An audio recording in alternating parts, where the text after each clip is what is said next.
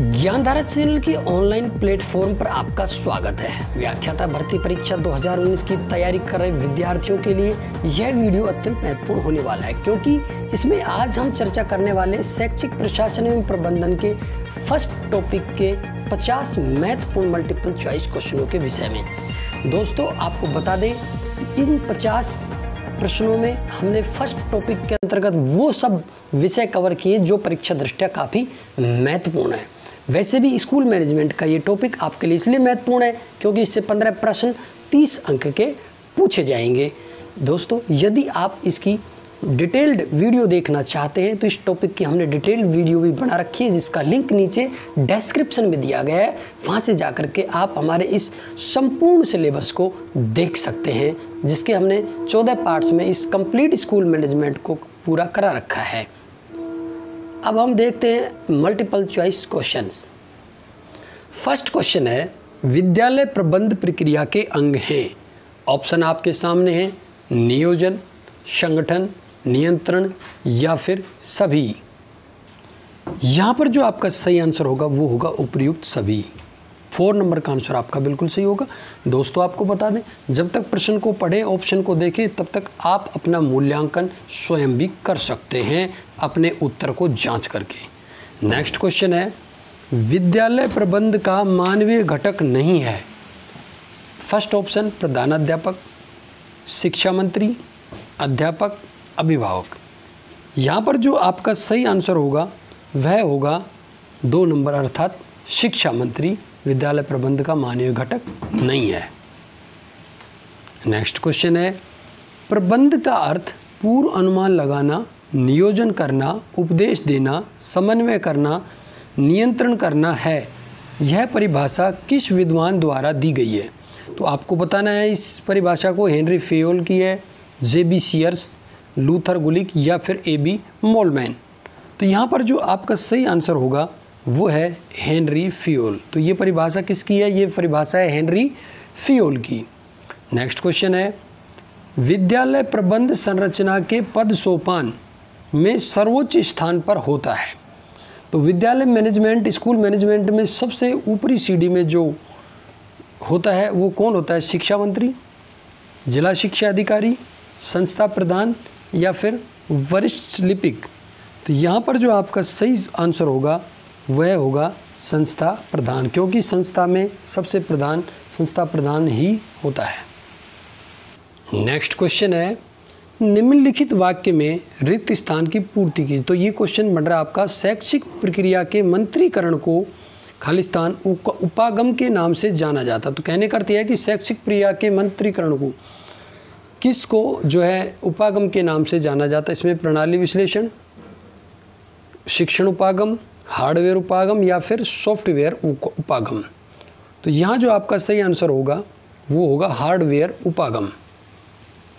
Next question है, शैक्षिक तकनीकी की परिभाषा के मूल में निहित है। शिक्षा को जन समुदाय तक ले जाना, शिक्षण अधिगम प्रक्रिया को प्रभावशाली बनाना नए नए उपकरणों का आविष्कार करना, या फिर शिक्षा में नवाचार को स्थान देना। तो यहाँ जो आपका सही आंसर होगा वो होगा शिक्षण अधिगम प्रक्रिया को प्रभावशाली बनाना।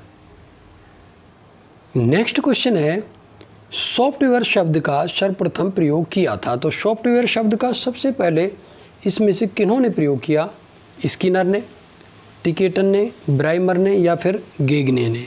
तो यहाँ पर जो आपका सही आंसर होगा, वो होगा सी अर्थात ब्राइमर। ब्राइमर ने सॉफ्टवेयर शब्द का सबसे पहले प्रयोग किया था।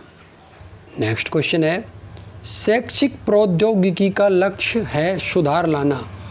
शैक्षिक प्रौद्योगिकी का लक्ष्य किसमें सुधार लाना है? प्रशिक्षण की प्रभावकता में, शिक्षण एवं प्रशिक्षण की प्रभावकता एवं दक्षता में, शिक्षण की प्रभावकता एवं दक्षता में, या फिर शिक्षण की प्रभावकता में। ध्यान देना, बिल्कुल बहुत ही क्लोज इसके अंदर ऑप्शन है। बहुत ही बिल्कुल इसमें देखें तो शिक्षण प्रशिक्षण का ही डिफरेंस है।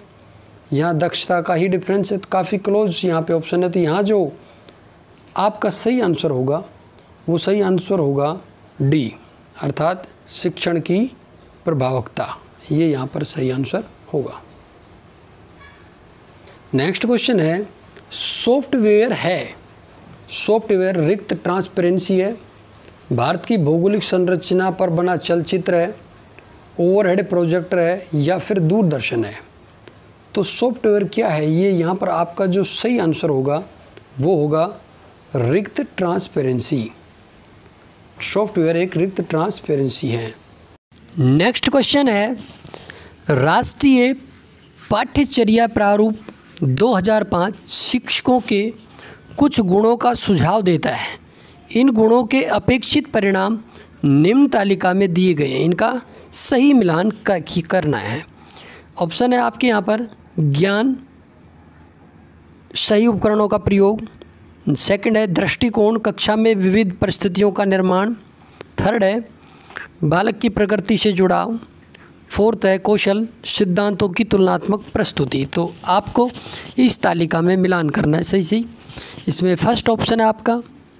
सेकंड थर्ड और फोर इसके अकॉर्डिंग आपको देखना है कि इसमें आपका कौन सा आंसर सही मैच कर रहा है। ये क्वेश्चन वैसे बहुत महत्वपूर्ण है। एच एम एग्ज़ाम 2011 की परीक्षा में आया हुआ है ये।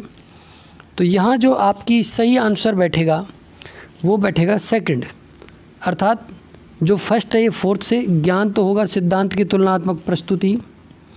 सेकंड होगा, वो थर्ड से मिलेगा आकर, जिसके अंतर्गत दृष्टिकोण बालक की प्रकृति से जुड़ाव। और इसके अंतर्गत जो थर्ड है, वो सेकंड से आके मिलेगा, जिसमें अभिरुचि कक्षा में विविध परिस्थितियों का निर्माण से है। और इसके अंतर्गत जो फोर्थ है, वो आके मिलेगा फ़र्स्ट से, अर्थात सही उपकरणों का प्रयोग कौशल है। नेक्स्ट क्वेश्चन है, शिक्षा प्रशासन तथा छात्र के संबंधों को बताने वाला कारक है। यहाँ आपके ऑप्शन है शिक्षा संरचना में बालकों के व्यक्तित्व निर्माण के प्रावधान। सेकंड बालक को घर से दूर रखने के प्रावधान। नंबर तीन, बालक को समाज से पृथक रखने का प्रावधान। नंबर फोर है, शिक्षा संरचना में बालक के एकांकी पक्ष का विकास करने के प्रावधान। तो इन चार ऑप्शनों के अंतर्गत आपका जो सही आंसर आएगा, वो है नंबर वन अर्थात शिक्षा संरचना में बालकों के व्यक्तित्व निर्माण के प्रावधान। नेक्स्ट क्वेश्चन है, प्रबंधन के लिए लोकप्रिय शब्दावली पोस्ट कॉर्ब ध्यान देना पोस्ट कॉर्ब किसके द्वारा दिया गया? बहुत ही इंपॉर्टेंट क्वेश्चन है पोस्ट कोड का नियम। Number one L Urwick second Mary Parker Follett third Luther Gulick fourth है एल्टन मेयो तो यहाँ आप स्वतः परीक्षण कर सकते हैं। जो आपका सही आंसर होगा, वो होगा लूथर गुलिक। ये पोस्ट कोड जो नियम है, ये लूथर गुलिक के द्वारा दिया हुआ है। नेक्स्ट क्वेश्चन है, निम्न में कौन सा शैक्षिक प्रबंधन का प्रमुख कार्यों में से नहीं है? अर्थात नियोजन, निर्णय, संचालन या नियंत्रण। इनमें से कौन सा है जो शैक्षिक प्रबंधन का प्रमुख कार्य नहीं है? तो इन चारों ऑप्शनों में जो आपका सही होगा, वो सही आंसर है निर्णयन। निर्णयन शैक्षिक प्रबंधन का प्रमुख कार्य नहीं है। नेक्स्ट क्वेश्चन है, निम्नलिखित वाक्यों का मूल्यांकन कीजिए। दैनिक जीवन में वैज्ञानिक ज्ञान का प्रयोग करने की विधि के तकनीकी कहते हैं। सेकंड तकनीकी होती है मशीनों का उपयोग। तो ए विकल्प आपका ए कह रहा है कि ए सत्य है, दो सत्य है, बी के अंतर्गत पहला ये सत्य है और सेकंड पहला असत्य है, सेकंड सत्य है। थर्ड ऑप्शन आपका कहता है कि फ़र्स्ट सत्य, सेकंड असत्य या फिर दोनों ही असत्य हैं। तो इसके अंतर्गत जो आपका सही आंसर होगा वो सी है। पहला सत्य, दूसरा सत्य। अर्थात दैनिक जीवन में वैज्ञानिक ज्ञान का प्रयोग ये तकनीकी है, ये बिल्कुल सही है। तकनीकी मशीनों का उपयोग ये बिल्कुल भी सही नहीं, इसलिए इसमें कथन एक सही होगा। नेक्स्ट क्वेश्चन है, शिक्षा के क्षेत्र में तकनीकी आ जाने से शिक्षा महँगी हो गई है, छात्रों की अधिगम क्षमता कम हो गई है, शिक्षा क्षेत्र की अवधारणाओं में क्रांतिकारी परिवर्तन हुआ है या फिर अध्यापकों का अभाव हो गया है तो इनमें जो आपका सही आंसर होगा, वो होगा शिक्षा क्षेत्र की अवधारणाओं में क्रांतिकारी परिवर्तन हुआ है। अगला क्वेश्चन है, प्रणाली विश्लेषण का मुख्य उद्देश्य है शिक्षा मनोविज्ञान के क्षेत्र में नए नए प्रयोग करना, शिक्षण कौशलों का विभक्त करना, शिक्षा प्रशासन एवं प्रबंध को वैज्ञानिक आधार देना, शिक्षा जगत के विभिन्न पहलुओं की जाँच करना। तो यहाँ जो आपका सही आंसर होगा, वो सी है शिक्षा प्रशासन एवं प्रबंध को वैज्ञानिक आधार देना। ये यहाँ पर आपका सही आंसर होगा। नेक्स्ट क्वेश्चन है, विद्यालय लक्ष्यों की प्राप्ति हेतु अनुशासन का कौन सा रूप सर्वाधिक उपयुक्त है? ए, दयनात्मक अनुशासन, प्रभावात्मक अनुशासन स्व अनुशासन या कठोर अनुशासन। यहाँ जो आपका सही आंसर होगा, वो है थर्ड स्व अनुशासन अर्थात विद्यालय लक्ष्यों की प्राप्ति के लिए स्व अनुशासन सर्वाधिक उपयुक्त है।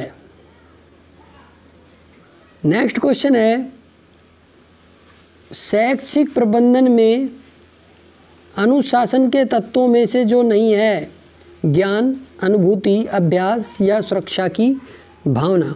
तो यहाँ जो आपका सही आंसर होगा, वो होगा सुरक्षा की भावना। फोर्थ, अगला क्वेश्चन है, शिक्षा के विकास के लिए व्यवस्थित योजना बनाने को कहा जाता है। शैक्षिक विकास, शैक्षिक नियोजन, स्वावलंबी योजना या दूरगामी योजना। यहाँ पर जो आपका सही आंसर होगा, वह होगा सेकंड शैक्षिक नियोजन। नेक्स्ट क्वेश्चन है, नियोजन तंत्र के स्तरों में से जो नहीं है, जिला स्तर, केंद्रीय स्तर, मध्य स्तर या राज्य स्तर? तो यहाँ पर जो सही है नियोजन तंत्र का, वो मध्य स्तर नहीं होता, जिला स्तर होता है केंद्र या राज्य स्तर, ये स्तर नहीं होता है। नेक्स्ट क्वेश्चन है, विद्यालय प्रबंध का मुख्य लक्ष्य है शाला भवन को आकर्षक बनाना, शिक्षकों की व्यवस्था करना, कार्यालय प्रणाली को सुधारना या विद्यार्थियों का सर्वांगीण विकास करना। तो यहाँ आपका सही आंसर होगा, विद्यार्थियों का सर्वांगीण विकास करना। नेक्स्ट क्वेश्चन है, विद्यालय प्रबंध का सर्वाधिक महत्वपूर्ण दायित्व है, लक्ष्य, मूल्यांकन, नियंत्रण, नेतृत्व या प्रोत्साहन। तो इन विकल्पों में जो आपका सही होगा, विद्यालय प्रबंध का सर्वाधिक महत्वपूर्ण दायित्व है, वो है नेतृत्व। थर्ड आपका बिल्कुल सही आंसर है। नेक्स्ट क्वेश्चन है, विद्यालय प्रबंध को न ज़्यादा कठोर और न ज़्यादा लचीला होना चाहिए। इससे प्रदर्शित करने वाला सिद्धांत है। अपवाद का सिद्धांत, लोच का सिद्धांत, अनुरूपता का सिद्धांत या फिर औपचारिकता का सिद्धांत। यहाँ जो आपका सही आंसर आएगा वो है लोच का सिद्धांत। यह विद्यालय प्रबंध को न ज़्यादा कठोर और न ज़्यादा लचीला होने से रोकता है। नेक्स्ट क्वेश्चन है, यशपाल समिति रिपोर्ट उन्नीस सौ तिरानवे का विषय है। नंबर वन, शिक्षक शिक्षा में आईसीटी। सेकंड, बिना बोझ के सीखना। थर्ड, प्रसारण के माध्यम से सीखना। फोर्थ, उपयुक्त में से कोई नहीं। तो यहाँ जो आपका सही आंसर होगा, वो सही आंसर है। सही आंसर हुआ यहाँ पे सेकंड बिना बोझ के सीखना। ये यशपाल समिति रिपोर्ट का मुख्य विषय था। नेक्स्ट क्वेश्चन है, निम्नलिखित में से किसने पहले बुनियादी शिक्षा का विचार प्रतिपादित किया? Number one doctor Zakir Hussain doctor Rajendra Prasad, Mahatma Gandhi या रविन्द्रनाथ टैगोर। बहुत ही इंपॉर्टेंट क्वेश्चन है। पूछा भी जा चुका है। 2014 फ़र्स्ट ग्रेड एग्ज़ाम के अंतर्गत ये क्वेश्चन आ चुका है। तो बुनियादी शिक्षा जो जुड़ी हुई है, वो महात्मा गांधी से जुड़ी हुई है। थर्ड आंसर आपका सही होगा। नेक्स्ट क्वेश्चन है, शैक्षिक तकनीकी का उपयोग हो रहा है रूस में, अमेरिका में, भारत में या संपूर्ण विश्व में? यहाँ पर आपका जो सही आंसर होगा इन चार ऑप्शनों में, वो है संपूर्ण विश्व, क्योंकि एजुकेशन टेक्नोलॉजी पूरे वर्ल्ड में यूज़ की जा रही है। नेक्स्ट क्वेश्चन है, निम्नलिखित वाक्यों का मूल्यांकन कीजिए। नंबर वन, शैक्षिक तकनीकी का अर्थ है शिक्षण में प्रौद्योगिकी। सेकंड है, शैक्षिक तकनीकी का अर्थ है शिक्षा की प्रौद्योगिकी। तो ऑप्शन इनके आपके सामने, क्या फ़र्स्ट सत्य है, सेकंड बी सत्य? बी कह रहा है कि फ़र्स्ट असत्य सेकंड असत्य थर्ड ऑप्शन कह रहा है कि एक सत्य सेकंड असत्य, या डी कह रहा है कि फ़र्स्ट असत्य सेकंड सत्य। तो यहाँ पर जो आपका सही आंसर आएगा, वो सही आंसर आप सोचें तो वो सही आंसर यहाँ बैठेगा आपका ए ऑप्शन अर्थात दोनों ही सत्य हैं। शैक्षिक तकनीकी शिक्षण में प्रौद्योगिकी और शिक्षा की प्रौद्योगिकी है। नेक्स्ट क्वेश्चन है शैक्षिक तकनीकी की अधिगम एवं अधिगम की दिशाओं में वैज्ञानिक ज्ञान है, जिसके द्वारा शिक्षण एवं प्रशिक्षण प्रक्रिया का प्रभाव, पूर्णता एवं दक्षता में विकास एवं सुधार लाया जाता है। यह कथन किस वैज्ञानिक, मनोवैज्ञानिक का है? कैनिथ रिचमंड का, जी ओ एम लीथ का, मैथिस का या फिर ई एम बूटर का? तो यहाँ जो आपका सही आंसर होगा, वो सही आंसर है जी ओ एम लीथ, अर्थात इनके द्वारा ये परिभाषा दी गई है। नेक्स्ट क्वेश्चन है, इनमें से सॉफ्टवेयर उपागम के अंतर्गत कौन सा आता है? अभिक्रमित अनुदेशन कंप्यूटर टीचिंग मशीन या फिर बंद परिपथ, दूरदर्शन? तो यहाँ पर जो आपका सही आंसर होगा, वो सही आंसर है अभिक्रमित अध्ययन। नेक्स्ट क्वेश्चन है, शैक्षिक तकनीकी का उद्देश्य है, शिक्षा के उद्देश्यों का निर्धारण, पाठ्यवस्तु का विश्लेषण ज्ञान का संचय, विकास और प्रसार या डी उपयुक्त सभी। तो यहाँ जो आपका सही आंसर होगा वो डी होगा उपयुक्त सभी। नेक्स्ट क्वेश्चन है, शैक्षिक प्रबंधन में नियोजन का सूत्रपात किसने किया? लूथर गुलिक ने, जॉन डीवी ने नन द्वारा या फिर एस एन मुखर्जी के द्वारा? तो इन चारों ऑप्शनों में जो आपका सही आंसर होगा वो शैक्षिक प्रबंधन में नियोजन का सूत्रपात करने वाला मनोविज्ञानी है, वो लूथर गुलिक, आपका सही आंसर होगा। नेक्स्ट क्वेश्चन है, विद्यालय के कुशल प्रशासन में संकीर्ण दृष्टिकोण वाले स्थानीय नेता मुख्य रूप से बाधक बनते हैं, क्योंकि वे शिक्षकों पर निगाह रखते हैं सेकंड शिक्षकों पर दबाव डालते हैं, प्रतिदिन के कार्यों में हस्तक्षेप करते हैं या विद्यालय के खर्चों पर नियंत्रण रखते हैं। तो इन चारों ऑप्शनों में जो आपका सही आंसर है, वो थर्ड है कि वो प्रतिदिन के कार्यों में हस्तक्षेप करते हैं। नेक्स्ट क्वेश्चन है, योग्यता संबंधी शैक्षिक प्रशासन के व्यक्तिगत कारक का लक्षण नहीं है। आत्मचेतना, बौद्धिक योग्यता, सत्ता की योग्यता या फिर शारीरिक योग्यता। तो इन चारों में जो आपका सही आंसर बैठ रहा है, वो सही आंसर होगा सत्ता की योग्यता शैक्षिक प्रशासन के व्यक्तिगत कारक का लक्षण नहीं है। नेक्स्ट क्वेश्चन है, अभिवर्ती संबंधी शैक्षिक प्रशासन के व्यक्तिक कारक का लक्षण निम्न में से नहीं है। शिक्षा के उद्देश्य, सहयोग, सत्ता या प्रशासक। यहाँ चार ऑप्शनों में जो आपका सही आंसर होगा, वो होगा प्रशासक। प्रशासक अभिवर्ती संबंधी शैक्षिक प्रशासन के व्यक्ति कारक का लक्षण नहीं है। नेक्स्ट क्वेश्चन है, निम्न में से शैक्षिक प्रशासन की उपयोगिता साबित नहीं करने वाला उदाहरण है। नंबर वन सामाजिक रीतियाँ। सेकंड मानवीय संबंधों का विकास। थर्ड शिक्षा को सेवा मानना या फिर प्रयासों का एकीकरण। यहाँ पर जो आपका सही आंसर होगा, वो सही आंसर है वन सामाजिक रीतियाँ। नेक्स्ट क्वेश्चन है, दैनिक जीवन में वैज्ञानिक ज्ञान का प्रयोग करने की विधि की तकनीकी को कहते हैं। सेकंड तकनीकी होती है मशीनों का उपयोग। ये जो दो कथन है, इनमें आपको सत्य और असत्य पहचानना है कि या तो ये दोनों सत्य या फिर दोनों असत्य हैं। ये चार ऑप्शन में से आपको कौन सा ऑप्शन सही लग रहा है, वही आपका आंसर होगा। तो इन चारों ऑप्शनों में जो हमें सही आंसर लग रहा है, वो सही आंसर है कि इसमें ये तो सत्य है और ये असत्य है। तो ये सही बैठेगा आपका सी ऑप्शन नेक्स्ट क्वेश्चन है, वर्तमान संदर्भ में शैक्षिक प्रशासन से आशय है? ए शिक्षा के संबंध में योजना बनाना। बी निर्देशन तथा पर्यवेक्षण करना। सी संगठन पर ध्यान देना। डी उपर्युक्त सभी। तो यहाँ जो आपका सही आंसर होगा वो डी होगा, उपर्युक्त सभी। नेक्स्ट है गेट जल ने शैक्षिक प्रशासन को कितने भागों में बांटा है?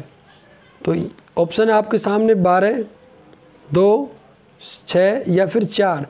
तो गेट जल ने जो शैक्षिक प्रशासन को बांटा है, यहाँ पर जो आपका सही आंसर होगा, वो बी होगा, दो भागों में बांटा है। नेक्स्ट क्वेश्चन है, आधुनिक संप्रदाय के अनुसार शैक्षिक प्रबंध के कितने तत्व शामिल हैं? ऑप्शन है आपके सामने तीन छः बारह या फिर दस। तो यहाँ जो आपका सही आंसर होगा, वो सही आंसर इन ऑप्शन के अकॉर्डिंग आपका बैठ रहा है वो है छः तो बी ऑप्शन यहाँ पर आपका सही होगा। नेक्स्ट क्वेश्चन है नेस विले ने शिक्षा प्रशासन में किस नेतृत्व शैली का विकास किया? लोचशीलता शैली दक्षता संप्रतय शैली, अनुरूपीय शैली या इनमें से कोई नहीं। तो इन चार ऑप्शनों में जो आपका सही आंसर होगा, वो बी होगा दक्षता संप्रतय शैली। नेक्स्ट क्वेश्चन है,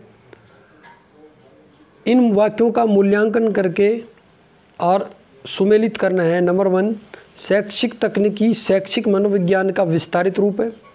सेकंड है, शैक्षिक तकनीकी शिक्षण अधिगम का भिन्न अंग है। इन दोनों में हमें बताना है कि या या तो ये दोनों सत्य हैं, या ये दोनों असत्य, या इनमें से एक सत्य या एक असत्य है। तो इन सूची का मिलान करने पर जो हमारा सही आंसर आता है, वो सही आंसर यहाँ पर होगा हमारा बी अर्थात इसमें नंबर वन जो है, ये तो सत्य है, और नंबर सेकंड है, ये असत्य है। नेक्स्ट क्वेश्चन है योग्यता संबंधी शैक्षिक प्रशासन के व्यक्तिगत कारक का लक्षण नहीं है। ऑप्शन एक है इसमें, आत्मचेतना, बौद्धिक योग्यता, सत्ता की योग्यता या शारीरिक योग्यता। इन चारों में जो आपका सही आंसर है, वो सही आंसर है थर्ड सत्ता की योग्यता। नेक्स्ट क्वेश्चन है, अभिवृत्ति संबंधी शैक्षिक प्रशासन के व्यक्ति कारक का लक्षण निम्न में से नहीं है। शिक्षा के उद्देश्य सहयोग सत्ता या प्रशासक। यहाँ जो आपका सही आंसर है, वो होगा फोर्थ, अर्थात प्रशासक अभिवृत्ति संबंधी शैक्षिक प्रशासन के व्यक्ति कारक का लक्षण नहीं है। नेक्स्ट क्वेश्चन है, जिला स्तर पर शैक्षिक प्रशासन का दायित्व है? जिलाधीश को, जिला शैक्षिक प्रकोष्ठ अधिकारी का, जिला शिक्षा अधिकारी का या जिला परिषद का? तो यहाँ पर जो सही आंसर होगा आपका, वो सही आंसर है जिला शिक्षा अधिकारी। थर्ड आंसर आपका सही होगा। नेक्स्ट क्वेश्चन है, शिक्षा प्रशासन के क्षेत्र का उदाहरण नहीं है, उत्पादन जन कल्याण कर्मचारी वर्ग या फिर रचना। तो यहाँ पर आपका सही आंसर होगा फोर्थ रचना। नेक्स्ट क्वेश्चन है, शिक्षा प्रशासन तथा छात्र के संबंधों को बताने वाला कारक है।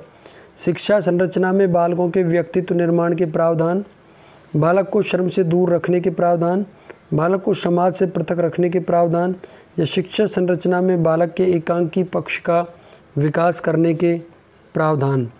तो इन ऑप्शंस में जो आपका सही आंसर बैठेगा, वो सही आंसर फ़र्स्ट ही होगा शिक्षा संरचना में बालकों की व्यक्तित्व निर्माण के प्रावधान।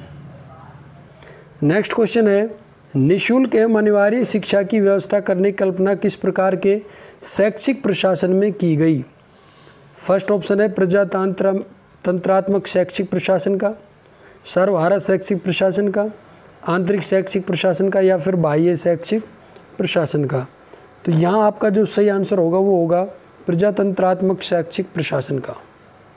नेक्स्ट क्वेश्चन है, प्रजातांत्रिक शैक्षिक प्रशासन में बल दिया जाता है नंबर एक समरूपता के बजाय समानता पर, शैक्षिक अवसरों की समानता पर व्यक्ति के सर्वांगीण विकास पर या फिर इन सभी पर। तो यहाँ जो आपका सही आंसर होगा, वो होगा फोर्थ अर्थात उपयुक्त सभी पर। अगला क्वेश्चन है, शैक्षिक प्रशासन का एक प्रमुख कारण व्यक्तिगत है तो दूसरा कारक सामाजिक है, भौगोलिक है, वातावरण या फिर सांस्कृतिक है। तो इन चार ऑप्शनों में जो आपका सही आंसर होगा, वो होगा थर्ड वातावरणीय।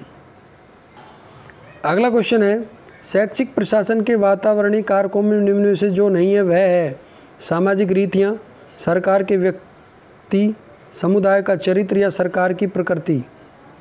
तो यहाँ इसका जो सही आंसर होगा, वो होगा सामाजिक रीतियाँ। तो इस प्रकार आज इस वीडियो में हमने अध्ययन किया, एजुकेशनल जो मैनेजमेंट है, स्कूल मैनेजमेंट के पचास वे महत्वपूर्ण क्वेश्चन, जो इसके फ़र्स्ट टॉपिक, जो कि शैक्षिक प्रशासन एवं प्रबंध की अवधारणा से लिए गए हैं। ये मल्टीपल चॉइस क्वेश्चन काफ़ी महत्वपूर्ण है। इनको देखने के बाद में आपको अन्य अध्ययन सामग्री की आवश्यकता नहीं होगी। इसी प्रकार हम इसके पार्ट सेकंड में लेकर के आएँगे। इससे अगले टॉपिक राजस्थान में शैक्षिक संगठन एवं प्रबंधन के महत्वपूर्ण कुछ और 50 से संबंधित मल्टीपल चॉइस क्वेश्चन नियमित तैयारी हेतु तो जुड़े रहिए हमारे ज्ञानधार रसोली चैनल के साथ में। नमस्कार। सब्सक्राइब कीजिए ज्ञानधारा हर्षोली चैनल को और बेल आइकन को दबाइए ताकि लेटेस्ट एजुकेशनल वीडियोज़ आपको सबसे पहले